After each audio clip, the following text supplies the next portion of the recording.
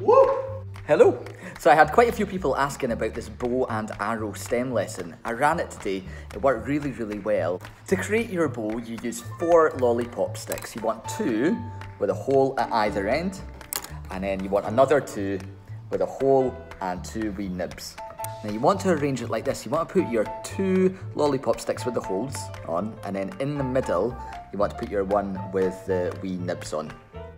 Once you've done that, you can attach them with paper clips and then get some loom bands to go between these two and then use dental floss to make your actual bow. There's been a lot of trial and error in arrows. I was using pencils, but it didn't work too well. But if you get a straw, put a wee bit of Blu Tack on the end, and then if you cut two wee uh, etches into the end of this, it'll sit really nicely and snugly on your bow. So there you go, it's held in place. So what's the actual learning here other than a lot of motor skills and a bit of STEMmy stuff?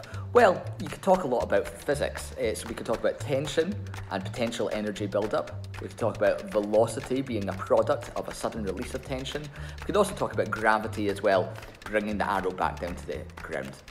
So a fun wee way to get kids to shoot their arrows about the class was to put this up on my board uh, and every time they hit one of the words they had to explain uh, the definition or, or what was going on with their bow and arrow and that force.